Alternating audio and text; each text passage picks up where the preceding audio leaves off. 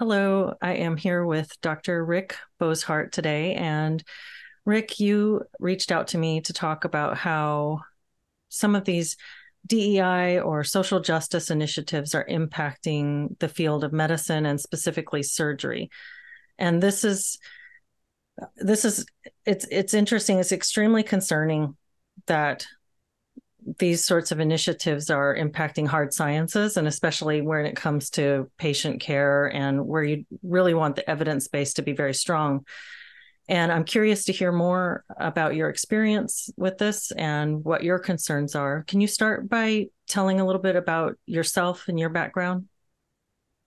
Yes and uh, leslie thank you for having me. I, I appreciate this opportunity uh, I really do appreciate having a platform anywhere, anytime to get this message out that I think is so important.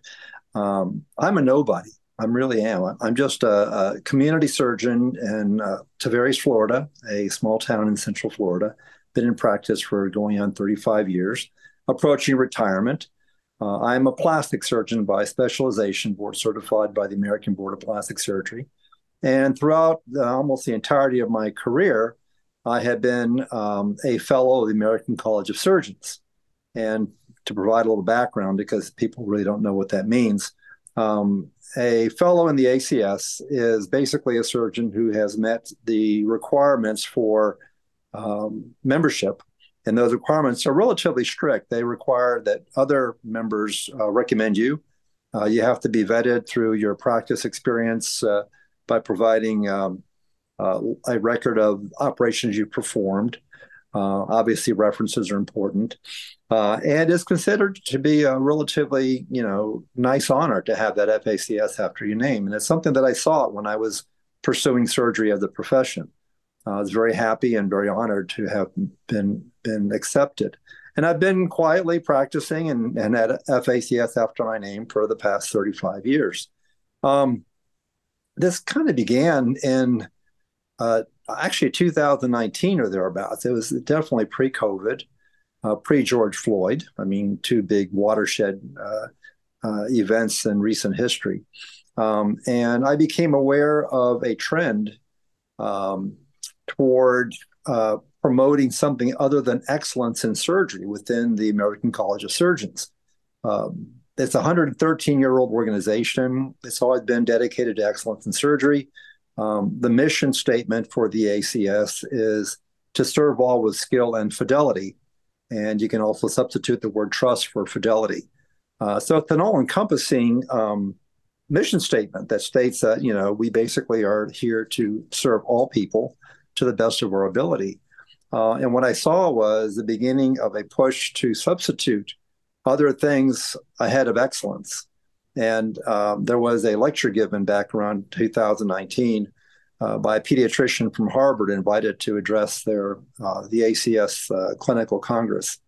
And her um, her title of her talk was, I believe I've got it right, uh, a path toward diversity, excellence, and inclusion. Of course, today the E stands for equity, not excellence. But the, the title of the talk was a, a path to diversity, excellence, and inclusion. And I thought that's an interesting topic. And I read the transcript word for word of her her speech. Um, excellence never appeared in the speech throughout the entire. It was never mentioned other than the title. It was all about diversity.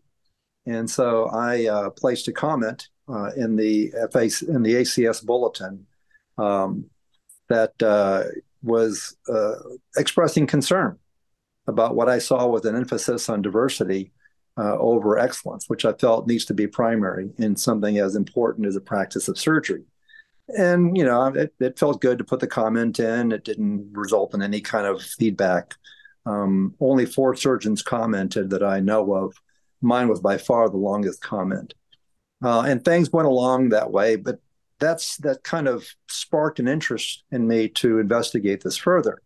So I began to investigate this issue of DEI, and, and as it was slowly becoming more and more uh, recognized in, in areas of, of our country.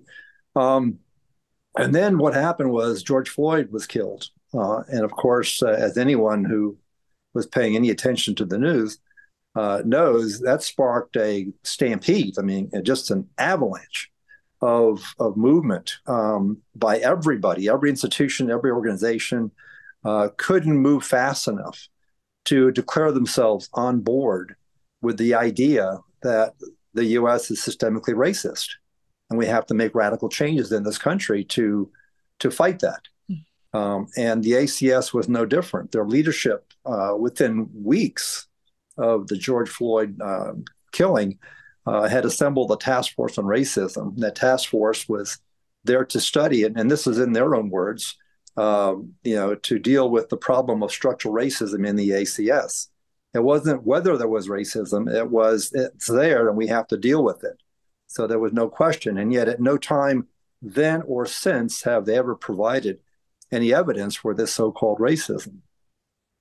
The task force came out with their recommendations um, in uh, 2021. And uh, that uh, the recommendation for that uh, for changes. Pardon me, I got a little bit of a tickle in my throat. Mm-hmm.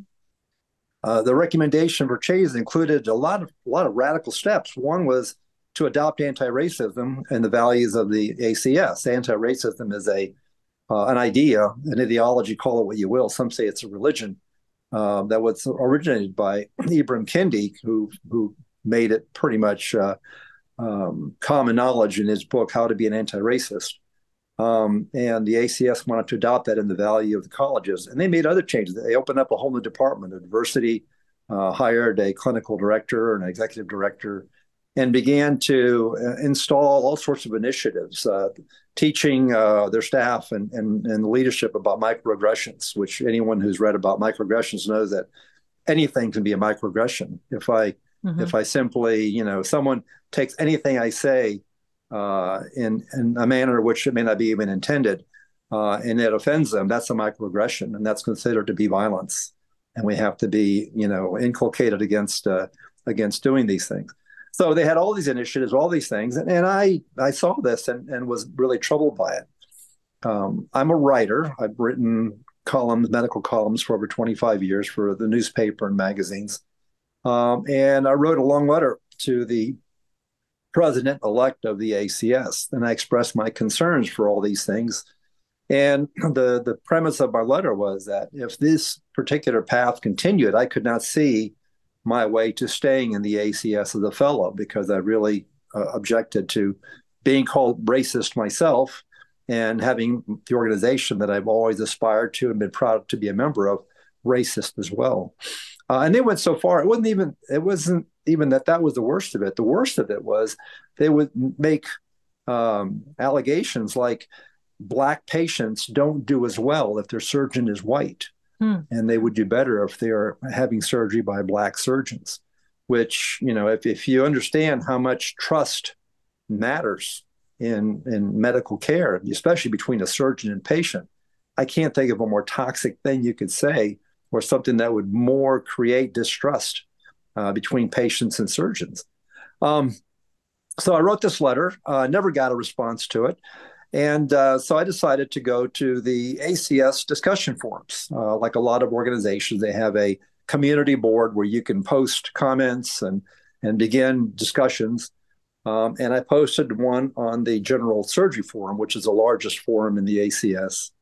And I basically, again, restated my my objection to the path of the ACS and calling us racists and installing DEI and said that I, if this continued, I couldn't see my way to be, you know, to staying a fellow.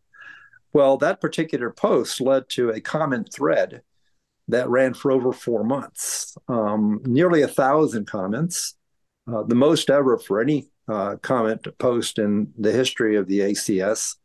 Uh, it actually had to be transferred over to a second uh, page because it was slowing the system down so much. And I, I want to say 125 uh, individual surgeons commented on that. It was unheard of, the, the volume on that. Well, two thirds of them agreed with me. Hmm. Uh, one third were either ambivalent or disagreed. Um, and that comment thread ran for a long. And as you can imagine, if you've ever been around surgeons, uh, we tend to be pretty, uh, uh, pretty strong, opinionated people. We're not shy about expressing opinions. Uh, uh, and you know, I would say that the discussion was that sometimes spirited. Uh, but in no time, I don't think anybody felt like they were being bullied or harassed or anything like that. So a lot of these things kind of run their natural life, and this comment thread ran its natural course. There wasn't really much more to say after a while, and uh, I kind of moved away from it. And as I was wondering what next, uh, I was actually approached uh, by the leadership of the ACS. The, the ACS is run by a 23 member board of regents, and they approached me and said, We'd like to discuss this with you. So somehow I made an impression, and they felt they needed to reach out. And so they uh, allowed me to invite a colleague of mine to come on this discuss, this uh, this Zoom call, if you will, uh, which was in uh, March of 2022. Yeah, 2022. Um, there were five people on the Zoom call. They included one of the Board of Regents, an older surgeon. Uh, they included the new uh, Director of Diversity, also a surgeon. Uh, included the General Secretary of the ACS, and myself, and a colleague who happened to be um, a Black female surgeon that had been very supportive. She's a friend of mine in our community and was very supportive of me we had a very nice Zoom call. I mean, this was a, a civil discussion. Uh, we all expressed our opinions and, and our concerns. Um, I would say that there was no consensus reached. There was no no agreements that oh you're right or or, or do this or but but there was there was I, I felt um, a a very collegial uh, uh, nature to the conversation, and I came away from it very encouraged. Mm. And I even sent emails to all the people that participated, thanking them for this and expressing my optimism that this would spark some discussion in the ACS and whatnot. Well, it wasn't but a few weeks later that I couldn't get on the discussion forums. I couldn't access them. And after two weeks of trying, thinking that maybe it was a glitch in the system, I contacted the General Secretary, uh, Dr. Tyler Hughes, uh, who is now the Vice President elect of the ACS. I said, you know, Tyler, why can't I get on the discussion forums? What's going on? And that's when I was first informed that I had been banned. Uh, he said, I've been banned for life. I cannot engage anymore with surgeons on the discussion forums. Um, and uh, I asked why. And the reason I was given was that I was continuously disrespectful and that I was posting non clinical material on the clinical forums. Uh, one thing they had done after our Zoom call was to change the rules of the discussion forums to prohibit any non clinical discussions on the clinical forums the forum that my comment thread was on was a general surgery forum. And so supposedly we weren't supposed to post anything about diversity there. What's really hypocritical about that is that one of the claims is that uh, this issue of diversity and racism in the ACS is the cause of discrepancies in the outcomes of surgery. Mm-hmm. So that's a direct clinical issue.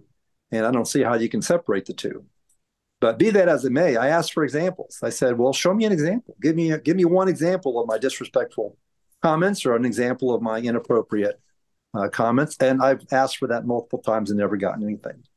So I was I was banned. And what's interesting is I can see from their perspective why they might ban me because I think I was creating a lot of discussion mm-hmm. and um, uh, and I don't think they liked the questioning their their direction. Um, and I can see where they they might see that banning me from the discussion forums would be probably a good thing to do.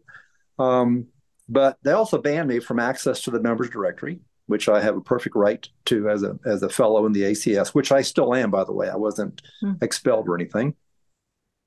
And uh, also from my own private mailbox. I can't even access my private mailbox. And the ban is a lifetime ban. It wasn't a ban for six months or a year, or it was a lifetime ban which I would say seems a bit excessive to me. Well, I made every effort within the ACS to deal with this. I appealed to the Board of Regents, that was denied. Uh, I was told I received due process. Um, and the ACS, like all organizations, has um, bylaws by which the ACS is run. So they have rules and regulations. They have very, very specific rules for how they discipline uh, fellows in the ACS. If you're misbehaving in some way or, or brought before the, the attention of the, the, the leadership uh, for something, you're supposed to submit that to the Central Judiciary Committee, which in turn investigates. And if they feel that there's justification uh, for you know the allegation and they feel that some discipline is is appropriate, they then determine the discipline and turn it back over to the Board of Regents to to carry that out. But there is supposed to be a due process where the, the surgeon is supposed to be informed that they are being investigated. Um, they are supposed to be allowed an opportunity to have a hearing to present their side of thing and hear what the, the accusations are and to present their defense. And then before any kind of uh, a punishment is uh, uh, put into place, uh, they're to be given or they're informed ahead of time to know that this is coming. None of that took place. Um, the the director of the Judiciary Committee told me that my ban was never presented to the committee. Hmm. And what's really interesting um, uh, and really, really amazing is that when I asked him for, I said, I would like a hearing. And his response was, Well, you never came before our committee, so this lifetime ban of yours is not, strictly speaking, a disciplinary action. So you don't deserve a hearing. And that was the end of my efforts to work within the ACS, at which time I said, okay, I need to go public with this. Mm-hmm, mm-hmm. And so basically, I started to write, which is what I probably do the best. Um, was very fortunate in 2022 that the Wall Street Journal published a, a, piece of mine called "Critical Race Theory is Bad Medicine." Mm-hmm. Um, that received some some significant exposure. Um, in the course of all this this uh, activity, um, I joined two organizations. Um, are you familiar with Do No Harm? Mm-hmm. Yes. Okay. Uh, I'm a senior fellow in Do No Harm. And are you familiar with FAIR? F A I R? Mm-hmm. Well, I'm a, a, founding fellow of FAIR in medicine, which is kind of an offshoot mm-hmm. of, of FAIR, the kind of the medical offshoot of FAIR. Uh, and they've been very, very helpful with me in, in, in, in, number one, support because it gets kind of lonely out there. Mm-hmm. Um, and I've had a couple of uh, articles uh, published in National Review, um, uh, City Journal, and then just this past, uh, uh, was it? Oh, it's just yesterday. it seems like longer than that, but um, yesterday I had an article published in the Washington Examiner, which uh, all of it relates to not just the ban, but also what's happening in surgery. Excuse me. So mm-hmm. let me just quickly, and I'll, and I'll, I'll be finished in a 2nd mm-hmm. here. I know this is probably going a long time. Um, I've been trying to to to focus on not just my objection to this, but also why this is not a good thing. Okay, you know, I have to have some justification for for why. And as I become more and more um, familiar with, knowledgeable about uh, DEI and what's going on with DEI, I realize that it is tremendously impacting the quality of surgery. And I, I know this because uh, I don't think there's an exception uh, to this that I've had conversations with multiple surgeons of, of my generation. You know, I'm nearing the end of my career. I was trained back in the 1970s and 80s. Um, and all of us look around and see that the quality of surgeons coming out of training programs today is not nearly what it should be. A lot of young surgeons come out of training not ready to practice. I mean, they basically need a, another year or more of apprenticeship behind a experienced surgeon before they're you can unleash them on society. Um, and that's that should not be. I mean, if you can't train a surgeon in a residency, either your your residency is too short or it's inadequate, or you're getting bad you know bad residents. And across the board in, in medicine, not just in academia, but in medicine specifically, um, there's been a continual lowering of the bar to where in order to to try to encourage more diversity and bring up more minorities they have been lowering the standards in other words nowadays you know you don't have to to um, even take the medical college aptitude test to get into medical school sufficient uh, is a, a uh, uh essay about your lived experience and what you've done to promote DEI and and whatnot. And, and you can get into medical school with grades that would never, ever qualify you to do so otherwise. And they're even denying, you know, they're denying highly qualified candidates. Uh, the, the particular group that's being especially um, discriminated against is Asians mm-hmm. that have traditionally done very well in the STEM fields and in medicine, especially. Uh, and they're not getting into medical school because they're making room for these diversity uh, selections uh, so what's happening is you have a lot of surgeons coming out that aren't qualified to practice. Um, and now I've actually had some conversations with, with surgeons that are in training today uh, that tell me really, really troubling things about what's happening in residencies. Uh, among them are residents not getting sufficient surgical experience in their residency program, um, surgeons not helping the surgeons that they are supposed to be training to actually learn how to operate. In other words, in a residency, there's there's greater responsibility, starting with your internship and going up to when you become a chief resident, where along the way you get more and more freedom to operate. In mm-hmm. the beginning, they basically they basically hold your hands while you're doing surgery. Toward the end, you're actually teaching residents behind you, just as you would if you were a full fledged surgeon. Um, these residents today are not getting that experience. Um, and some of these programs are even allowing residents to list as part of the surgical experience operations that they simply observe, not even scrubbed in wow. or assisted, wow. but simply observed. And those are going into the surgical logs that are used by the credentialing organizations like the American Board of Surgery and the American Board of Plastic Surgery to uh, qualify a surgeon to sit for board certification. Um, it's really, really scary. Uh, I'm not exaggerating when I say that I'm at a point now where I would advise people to be very careful about going to a surgeon who's less than 40 years old. I would say if you're going to someone in their 30s uh, who trained in this more recent period of time, uh, be darn sure that that person is highly qualified and vet them extremely carefully. Don't just assume that because they're they're residency trained and board certified that they're qualified to be doing what they're doing. So today I'm still banned. Um, I've had success with getting the word out. Uh, hopefully, you know, you inviting me here uh, is going to further that effort to get the word out. I don't have any hope of ever getting back my privileges in the ACS. I think I'm basically persona non grata in the ACS now. But what I'm shooting for today is accountability mm. um, for the surgeon, the leadership to basically fess up to what they're doing. Uh, I would like them to stop doing what they're doing Mm-hmm. Uh, and if I go to my ultimate goal, uh, having seen what happened to the university presidents recently with Claudine Gay and and uh, Mary, um, oh, what was the the uh, UPenn um, president, uh, I would like to see a turnover in the ACS leadership. I'd like to see them deposed by the membership and new leadership installed, and get back on track to to fulfill the mission of the ACS, which is to promote excellence in surgery, and that should be primary. Wow. So you've really watched this organization go from a respected and um, highly esteemed organization that, that, as you say, promoted excellence to in just a very short time, really going undergoing some significant changes. You said that this really started to come into your awareness in 2019.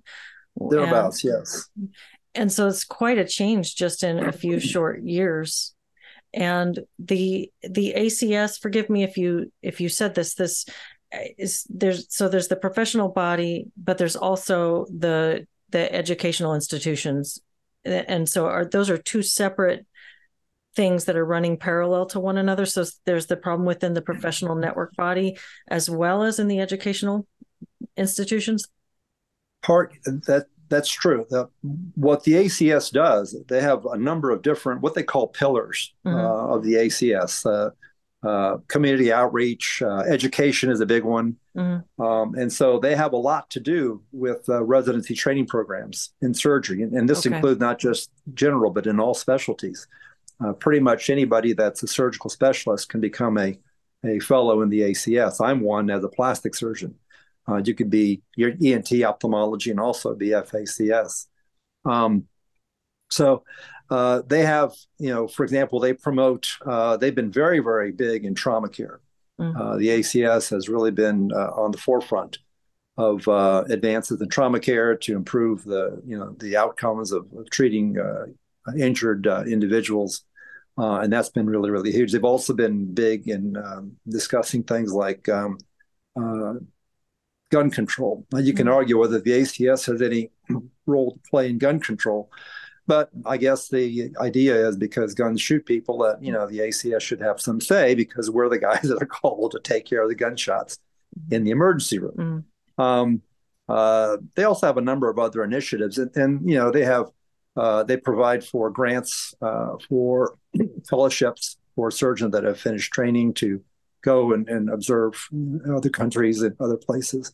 um, ultimately, it all comes down to promoting excellence, mm-hmm. uh, in, empowering surgeons to be the best they can be, mm-hmm. to teach them uh, as much as, as they need to to provide excellent care, and also to to oversee. Uh, all this goes back to the patient, who is ultimately the the the primary reason for our being is to mm-hmm. take care of our patients. what they have done is they've taken the the the uh, the focus mm-hmm. from the individual patient in front of us, and they put that focus on identity groups. So mm-hmm. now, when we see a patient, we're supposed to see that patient as a black, mm-hmm. or as a Hispanic, or mm-hmm. as a, um, a you know female patient. Mm-hmm. A, you know, and and you know, obviously those things are factors. There's there's things that I look at uh, when I see a patient uh, who has black, for example.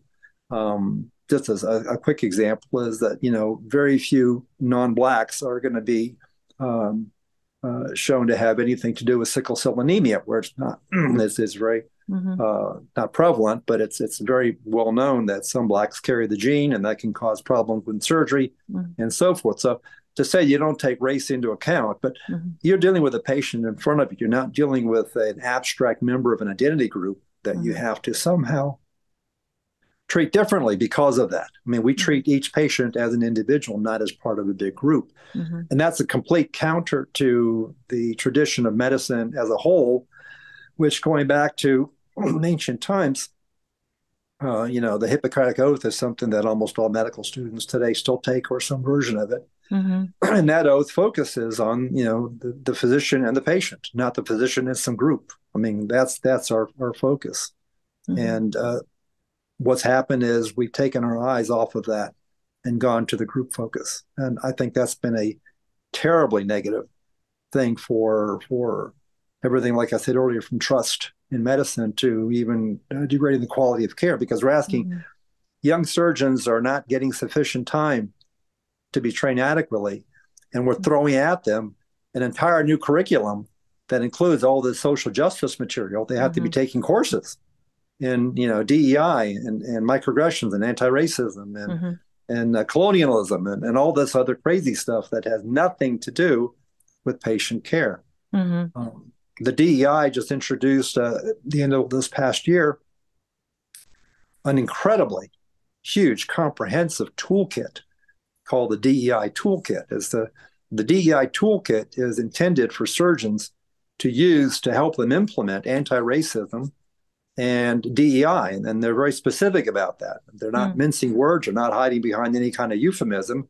They're promoting anti-racism and DEI, and and providing this toolbox for or toolkit for patient for excuse me for surgeons mm-hmm. uh, to study and embrace and utilize in their their practices. And if you look at what the toolkit includes, I mean, just reading through it, doing nothing else, would take the better part of an afternoon mm-hmm. or a mm. day. But then if you start implementing these things, I don't know where you're going to find the time. And if you got a young mm-hmm. resident who's supposed to be studying surgery and taking care of patients, and you make them take time away from their patient care mm-hmm. responsibilities to attend courses in microaggressions, I don't see how that helps quality of surgery. And I, I think there's a lot of evidence to be to be uh, found that it does the exact opposite of that.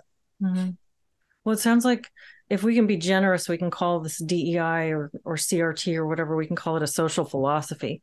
But the social philosophy has taken hold and been implemented really quickly. And so you went, it seems like kind of a shell game they were playing when they were, you, you talk about that initial presentation that you watched where she called it diversity, excellence, and inclusion. So she's still sort of folding in the old language and, and bringing this alongside that. And then after that, they're starting these anti-racist uh, task force initiatives to to find racism.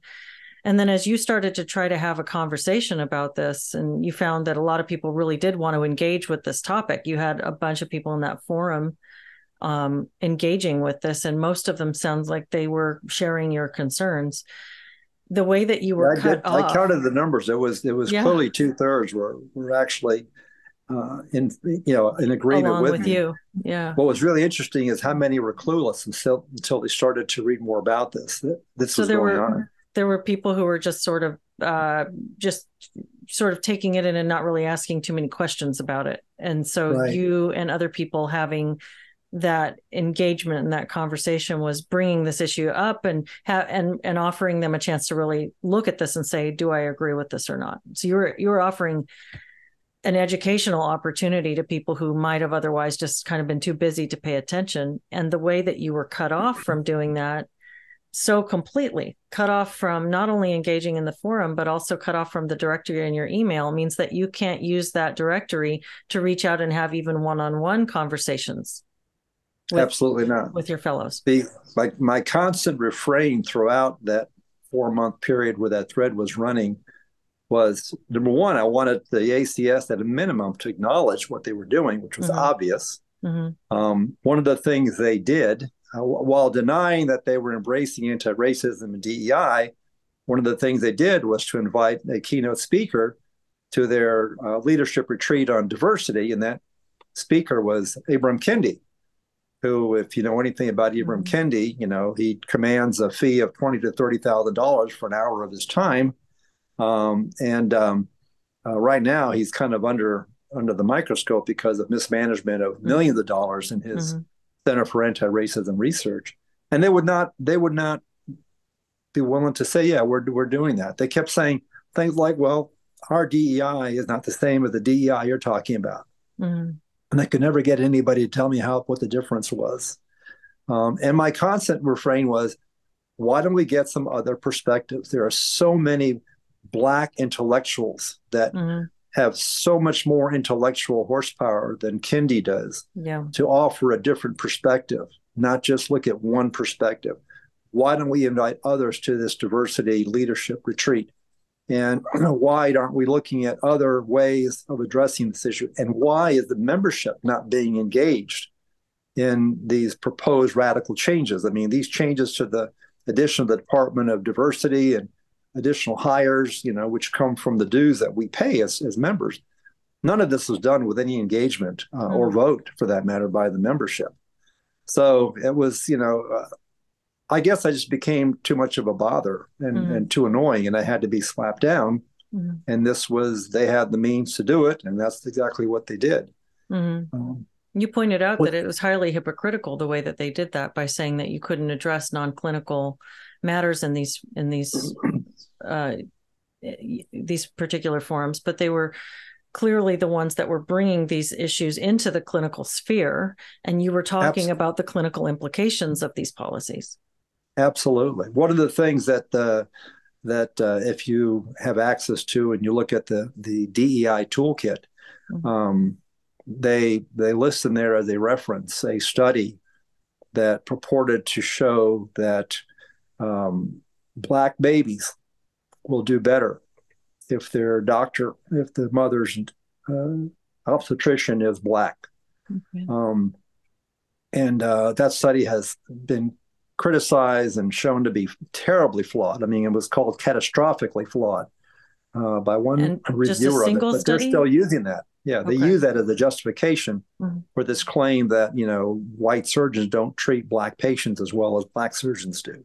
Mm-hmm. Um, again, I, the idea that that I and my fellow uh, surgeons, because we are white, we are irretrievably, irredeemably, mm-hmm. if you will, uh, racist, and we just can't help it. You know, we don't even know how racist we are because we're, you know, we're too white to know that.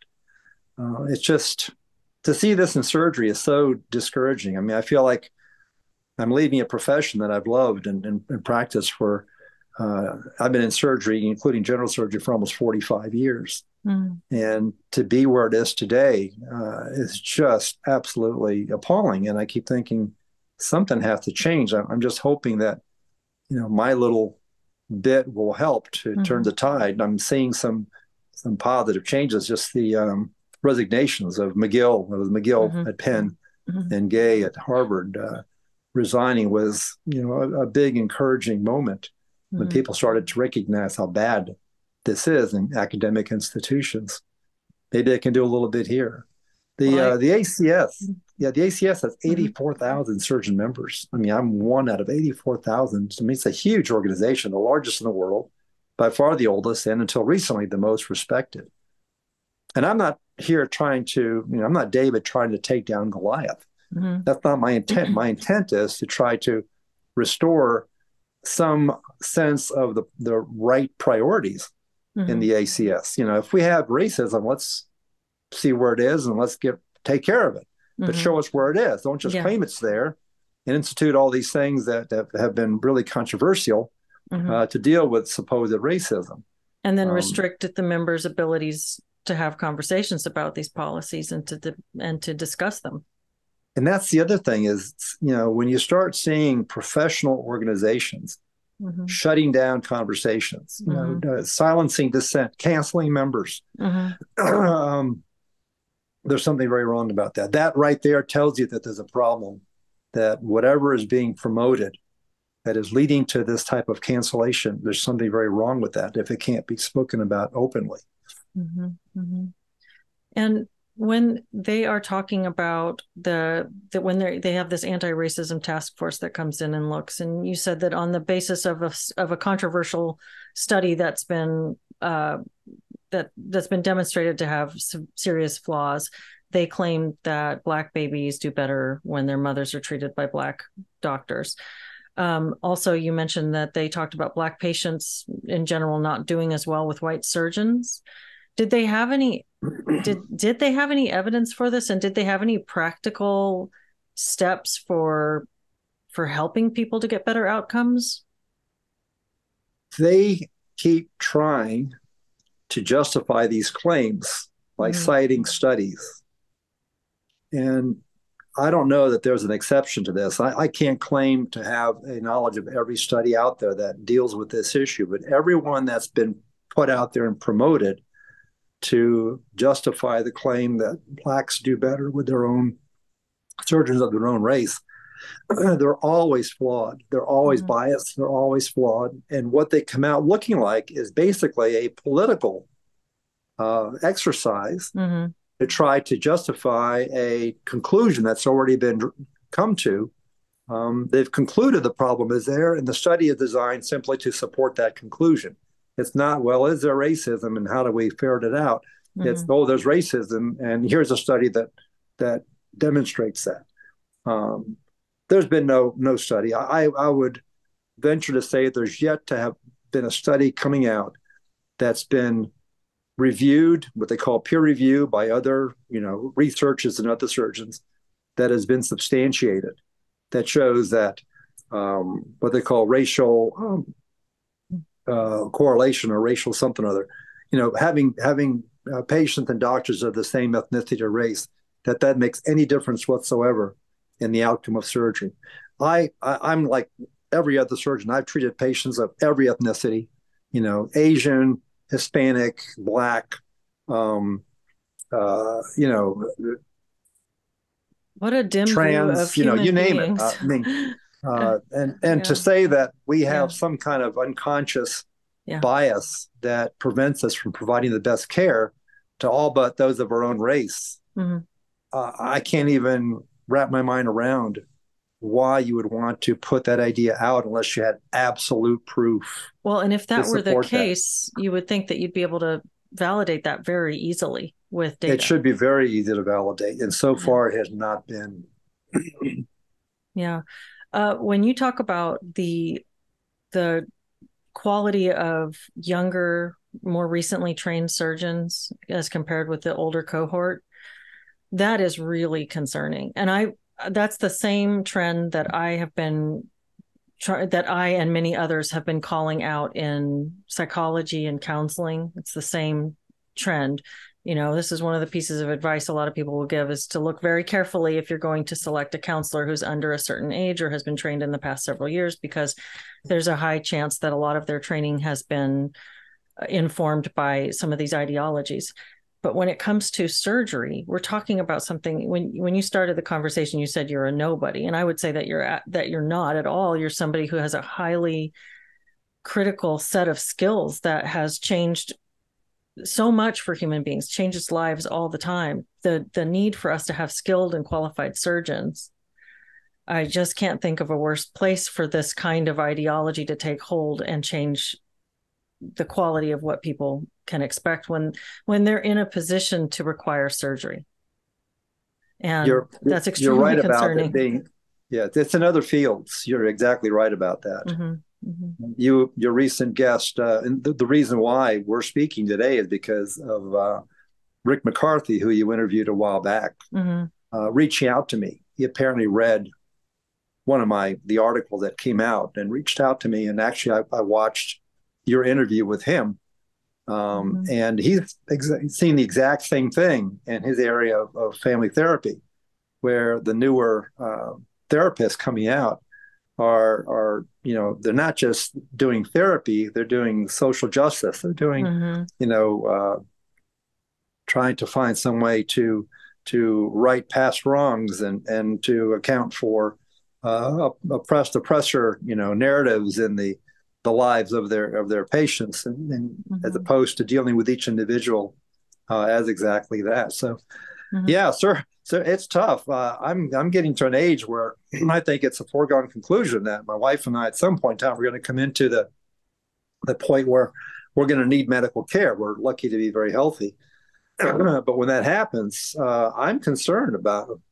finding a surgeon that I'm going to be confident is going to provide me with the best possible care. Uh, all the surgeons that I've found that I have confidence in are around my age. Mm. Now, what I don't want to do, is I don't want to paint every young doctor with the same brush. So mm-hmm. I would say that this is not across the board. Mm-hmm. Uh, it is certainly a lot more common than I think it should be, and that's very worrisome. Mm-hmm. I have um, uh, three children. My younger daughter is a physician, and her husband's a physician. They're both very, very well trained um, and extremely you know, smart, bright, good at what they do. Mm-hmm. Um, and I asked them about some of these things. Their response was interesting. My daughter graduated in um, around, uh, I think it was class of 2017 from my alma mater, the University of Miami.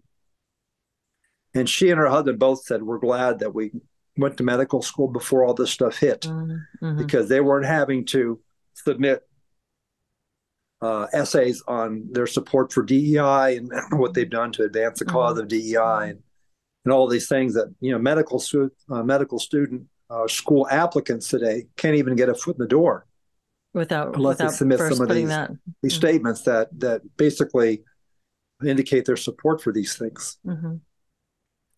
So this is uh, the quality is being undermined both by lowered standards of admission, which favor identity characteristics over over aptitude and and other standards that you'd be assessing an applicant by and also by the heavy inclusion of this DEI, I guess, curricula in place of stuff that these young doctors really should be focusing on. Yeah, there, there has to be something has to give. You can't yeah. keep adding without taking something away. Mm-hmm. So at some point in time, you're going to have to start reducing, you know, the the time and, and, and intensity of courses in physiology and pharmacology and microbiology and, and mm-hmm. biochemistry and, and you know all these things that are part of the, the fund of knowledge that mm-hmm. someone has to have. even today, even though what I do is relatively specialized, I don't think a week goes by I don't find myself calling back on something that I learned in medical school. You know, yeah, uh, some yeah. drug or some illness that that pops up in a patient of mine and I have at least some basic and you know information about that because I was exposed to it. Mm-hmm. If I had spent you know hours upon hours in a semester or more on these other uh, issues, uh, I don't think that would have happened. Mm-hmm. And I mm-hmm. think we're seeing that for sure. Um, you mentioned that you're encouraged by some of these recent high level resignations, and that that it sounds like you have hope that there's possibility to reform the ACS. Is there also any talk of building a um, alternative organizations, or is is there an alternative organization that's focusing on these issues, or do you feel like you're really kind of a lone voice right now? There is talk. In fact, I've had some people suggest to me because I've got some visibility by my the exposure I've had um, in my writings uh, that have suggested why don't we just go off and start our own surgical organization that replaces the ACS. And mm-hmm. that's a great idea. Uh, tremendously labor intensive. Yeah. Uh, I wouldn't even know how to begin doing something like that. and um, you know you're reinventing the wheel in a sense that is happening. I don't know if you're familiar with the University of Austin in oh, Texas. Oh, mm-hmm, mm-hmm. Okay, so I mean, people are doing that. They're mm-hmm. they're saying, okay, these these institutions are they're not reformable. They're, they're, mm-hmm. irredeemable, and we've had to simply write them off and move on and start our own. That may happen. There's an American um, oh gosh, American Academy of Physicians or American something of physicians that I think was started as a response to, in general, in medicine, generally speaking, to the AMA, which AMA is, is an organization that has lost all credibility and all legitimacy. They're basically they, their membership amounts to 15, 16 percent of all physicians. You know, they they sound like a very powerful organization that represents doctors, but they only exist because they have a monopoly.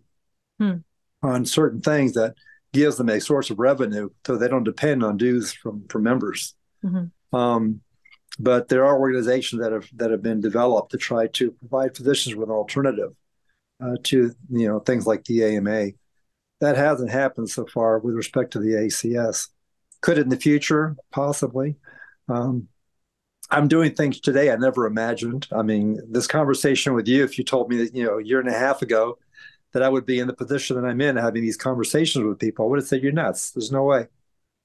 But I am very close to retirement. I'm going to be retiring from my practice. excuse me, in uh, about eight months, and that's going to open a pretty much, you know, a, a wide uh, amount of uh, space and time for me to do other things. So I wouldn't discount that. Mm-hmm. Um, if you want to take a moment and grab a glass of water, to finish? I should have gotten that. Just give me one second. Yeah, Let me do that. Totally. I'll edit this chunk out. My husband is a good editor. He'll edit it out for me. So, again, if we can be generous, we could call Ibram Kendi a social philosopher and this DEI, CRT stuff a social philosophy. But I think that would be generous. Yes. yes. Just trying to be, use neutral kind of uh, framing. So, in your in your career, have you ever seen anything else like this where a social philosophy has come in and made such an impact and changed so much about the way things are being done?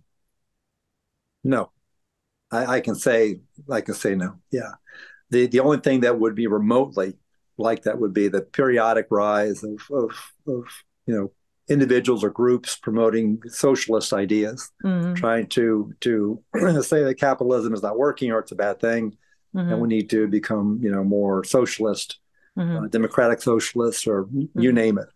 And that seems like that's something like this cultural. That's more culture wide and not so much specific to medicine and being adopted by by the medical field this way.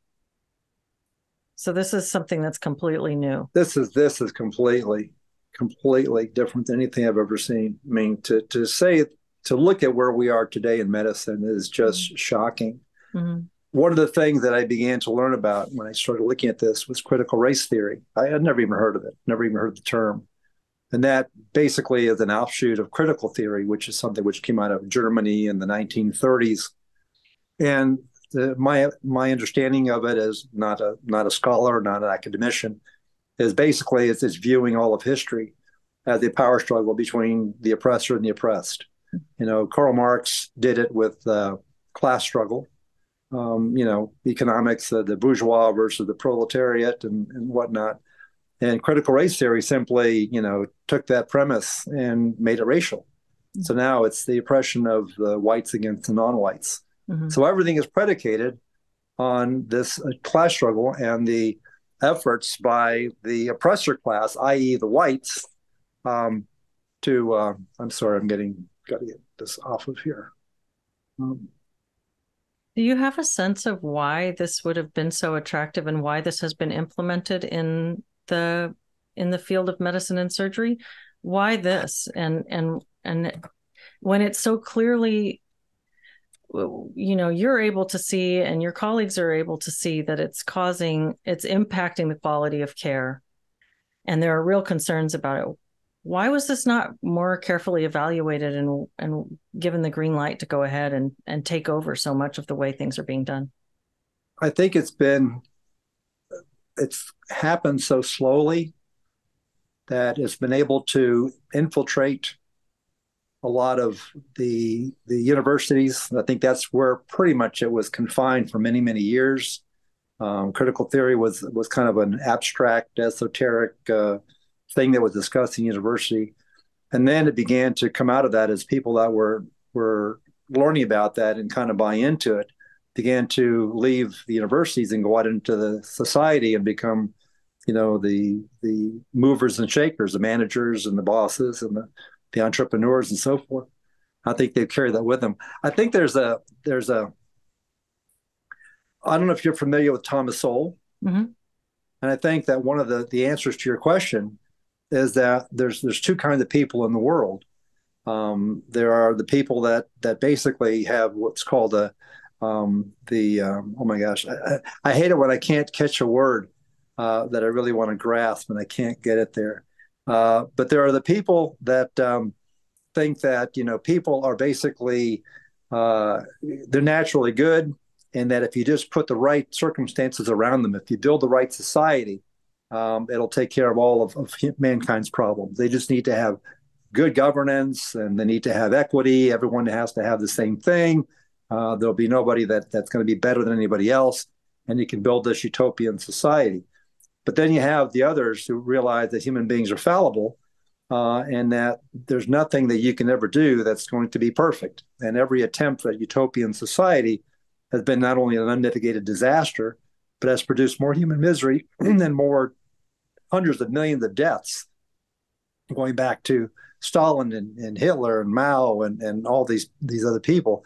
Uh, the constrained and unconstrained view of life. That's that's Thomas Sowell, and so his uh, his uh, basic uh, philosophy is that there are no solutions. There are trade offs. That there's you know every time that you do something, to solve a problem, you have to accept that that's not going to be a perfect solution. That you're going to have to make some some trades and some compromises in order to to adopt that. I think the people that have this idea that we can um, change society in some radical manner tend to be drawn to things like critical race theory uh, because it provides a very simple answer. the answer is it's racism. You know, if we can if we can get rid of racism, we can you know walk off in the sunset singing kumbaya and we're all going to be be happy but no one ever seems to be able to provide this um, uh, a description of what this society will look like what is this society like where everyone is the same mm-hmm. where no matter how hard you work or how little you work you're going to get the same outcome everyone mm-hmm. gets the same outcome um, you know there the the the uh, there's no excellence because you know excellence means that someone is is competing and, and ahead of somebody else, and you can't have that. You got to bring you can't if you can't bring the, the the mediocre up to the excellent, then you got to bring the excellent down to the mediocre. Mm-hmm. Um, and I think it's a very very um, attractive premise that you can actually create this utopia, but to do that, you have to dismantle the current society because it's not fixable. You know, whiteness is not fixable. I can't be fixed. Mm-hmm. I have to acknowledge my whiteness and and deal continuously with my anti with my racist uh, tendencies and and practice anti-racism in order to to make this work. Um, it's really interesting when you look at, for example, the word anti-racism. You try to understand what exactly this means. And Ibram Kendi, who actually originated the word, he coined the term he can't define it. Um, there's an excellent video that I've got on one of my uh, one of my uh, uh, posts on my website um, where he's asked specifically what is anti-racism, uh, and he he gives some weird circular answer. Anti-racism is anti-racist practice that promote anti-racism, and you're thinking, okay, sounds great. What does it actually mean? It doesn't mean a darn thing. Yeah. So I don't have a good answer why it's, so attractive. I think that there's a lot of bored, educated, bored people mm-hmm. that are resentful that they have gotten these these college degrees uh, that they can't do a darn thing with, and they've been indoctrinated throughout their entire uh, educational career that um, they are part of an oppressor or oppressed class, one or the other. I mean, there are people at Harvard that are shouting at how oppressed they are. I mean, it's really interesting when you have people that are in Harvard claiming how oppressed they are. I'm thinking, okay, there's something wrong with this picture. Mm-hmm. Uh, but it's a very appealing thing because it provides a simple answer to a very complex problem. Just like the ACS says that the the um, disparities in outcomes of surgery are due to racism. Um, and they provide no proof for that. But there are so many other things, you know, access to health care, you know, cultural issues, you know, societal issues, the breakdown of the of the nuclear family and the black community, for example. Uh, eighty uh, percent or more of, of, of, black households don't have a father. Uh, the children are being raised in a in a, in a single parent household. Um, incarceration of blacks. I mean, it goes on and on and on. Mm-hmm. they're they're the problems they have to be dealt with, but the ACS is designed specifically to promote excellence in surgery and to help surgeons treat their patients as well as they can. Mm-hmm. They're not there to be distracted and have their efforts diluted by going off in all these different directions that have nothing to do with, with patient care. And unfortunately, if you try to have that discussion, uh, as I tried to do, you get shut down. Mm-hmm. This is an incredibly alarming and concerning issue and i'm glad that you're raising it in such a thoughtful and uh, clear way. Thank you so much for bringing this up to to me and thank you for sharing it. Is there any do you have any advice for people who want to take steps to help work on this is there anything that people can do or where they, they can go to learn more about what's going on and how they can get involved i really encourage people to first off, educate themselves. There's lots of books out there. By all means, read Ibram Kendi's book, you know, How to Be Anti-Racist. But don't just read that. Go read something by Thomas Sowell or by, by Glenn Loury or by Robert Woodson or someone that has a different different slant to it and provides an alternative view to to that one view. And the other is, you know, there's there's definitely strength in numbers. Uh, unity is is really really important. Uh, I have not gotten this far by myself without the help of organizations like Do No Harm and FAIR. I would never be at this point today, I don't think. And so I think that supporting these organizations, and there's there's others out there. Um, 1776 Unites is an organization that was started by Robert Woodson um, in order to counter the lies and the, the historical inaccuracies of the 1619 Project mm. um, that got so much play by the New York Times, but is a complete and total lie. Um, so, yeah, educate yourself. Uh, and to the extent that you can, I mean, not everybody's going to be an, an activist in, in, doing what I've, you know, surprisingly found myself doing, but uh, support the organizations that are fighting back to the best of your ability.